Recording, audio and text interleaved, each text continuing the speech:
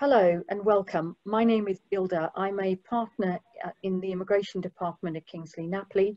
Um, we're here today to talk to you about the position of British lawyers flying into Europe after the end of the transition period uh, on a fly-in, fly-out basis.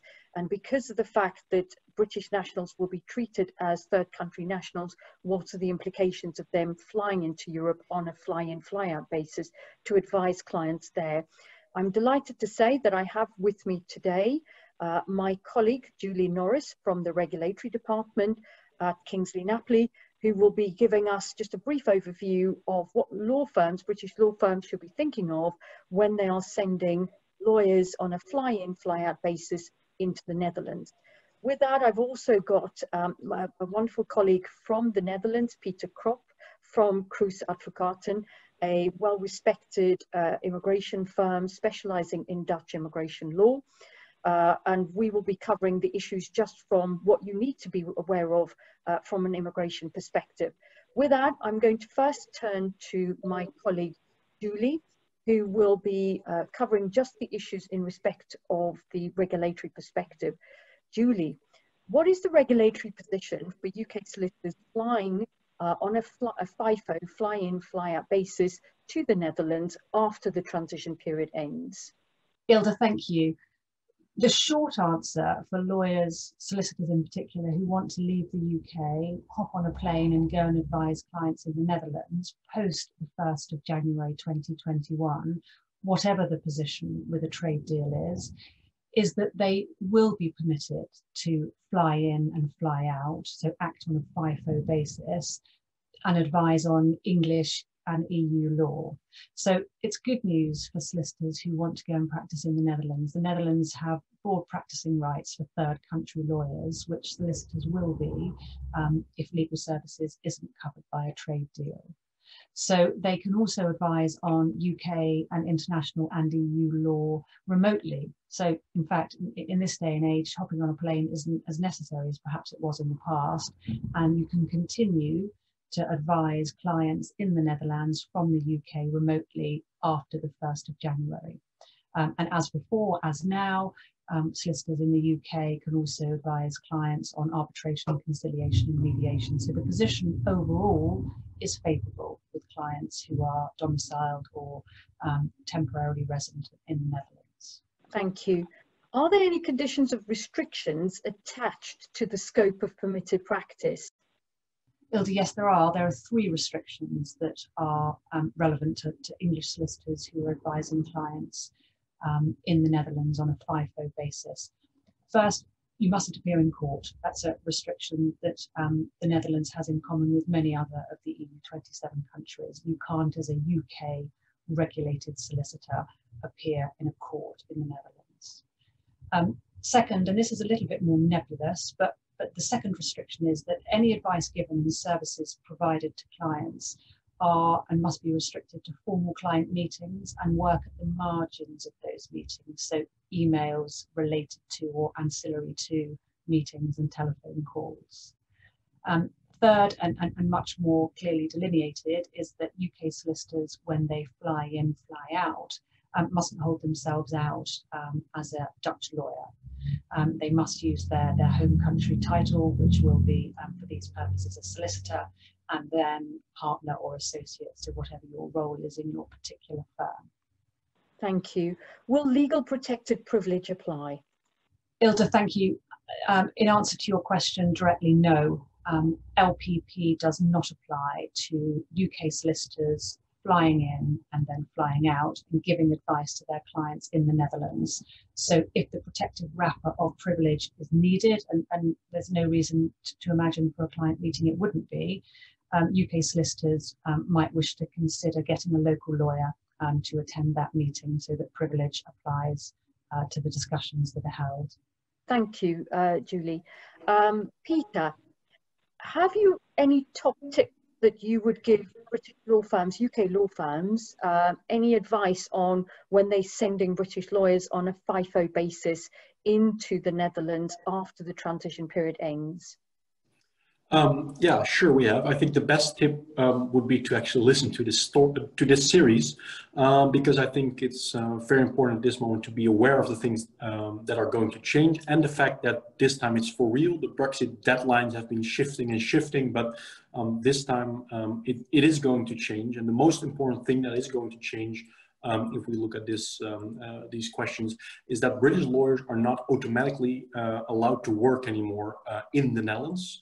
Uh, the Netherlands uses a so-called um, uh, no unless policy if it comes to uh, work being carried out by third country nationals, non-EU citizens in the Netherlands. So that means that for every activity that can be qualified as work, uh, either a work permit is required or um, an exemption has to be in place. Thank you. Assuming the British uh, lawyer is going to be in the Netherlands just to visit the client, so in other words, not providing any advice, uh, what's the maximum amount of time that they'll be able to spend in the Netherlands? They will fall under the scope of the, um, the regular Schengen rules for uh, short-term uh, visits, which means that they can spend 90 out of 180 days um, uh, in the Netherlands. Um, of course, it's also very important um, to establish what exactly is the scope of the, uh, the exemptions that are applicable. So the relevant exemption is the business meetings um, um exemption, and these meetings are defined as meetings that are relevant for the business development of the company, the management of the company, and the concluding of contracts. And as long as the meetings are limited to these activities, a work permit is not required. Um, around um, those meetings, the lawyer is also allowed to perform incidental activities uh, for the firm back in the UK. So for example, emailing a client uh, from the airport when you're waiting for your flight. Thank you.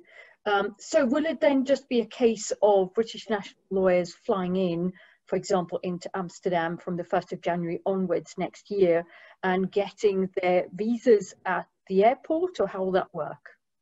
Um, no, they will be um, entitled to visa-free travel, uh, which means that uh, just the British passport is sufficient to, to travel those 90 out of 180 days. So there will be no visas uh, issued on arrival. Thank you. Is the position then different? And it sounds from what you say, uh, you know, what you've described before, different then essentially if the, the, the, this British lawyer is actually going to be giving advice that's chargeable. Based on what you've said, um, I, I, get the impression that work permissions required, even if it's for a few days, um, and that you actually need to get a work permit. Is that right? Yes, that is definitely right. So um, uh, this kind of activities will definitely qualify as work uh, under the Alien Employment Act that we have in the Netherlands. Uh, and they also exceed the limitations of the uh, business meetings exemption.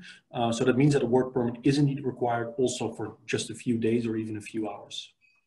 Okay, so then I suppose the question then is, Pieter, how quickly could one obtain a work permit? And is it something that you actually have to obtain in advance of your travel? Yes, I'm afraid that is uh, not, not very easy. Um, uh, it will take three to five weeks to actually process an application for a work permit, um, and it cannot be issued retroactively. That means that you need to have a work permit in hand uh, the moment you start working in the Netherlands. Um, so that means that you need to plan at least three to five weeks ahead before um, uh, doing this kind of work in the Netherlands. I think the problem is going to be that I foresee is that some of the travel that British lawyers will have might be at a moment's notice. And the difficulty is going to be to plan ahead when sometimes you, you don't know what to plan for because it, it's not something that is going to uh, uh, uh, happen straight away. So that's going to pose a problem. With that in mind, what do you, what kind of things would you suggest if all else fails? What should they be doing? Um, well, um, you know, if a, if a, if a lawyer is, is, is, flying to the Netherlands and, and, and um, is being stopped here at the border control and asked for a work permit, it's not applicable, then the only way to solve that is to um, um, get a cup of coffee and take out your laptop and not actually cross the, uh, you know, cross the border into the Netherlands and either uh, set up a video conference, which we all have been doing, of course, um, a lot for the last year because of uh, COVID-19. Um, um, because as long as you're technically not in the Netherlands, uh, which you are not if you have not crossed the border, um, uh, all these provisions are not applicable and you're allowed to uh, allowed to work. Um, if you really need to meet your um, your, your your your client in person, uh, the only um, thing we can think of is to um, um, sit there um, uh, before the border control and have your client book a flight to London and actually not board the plane. And then uh, you meet each other there and you can have, uh, have your talk. And since the, the UK lawyer is then technically not um, in the Netherlands, uh, these provisions are not applicable and a work permit is not required. But of course, that's not a very um, optimal solution, I'm afraid. I, I, I, pre I appreciate. Um, thank you so much both to, to Julie uh, and to Pieter for your time and for sharing the information. Uh, thank you very much to all of you who are watching this podcast. We hope that you have found this very helpful. Please be on the lookout. We will be sharing further podcasts uh, focusing on other jurisdictions within the European Union. Thank you.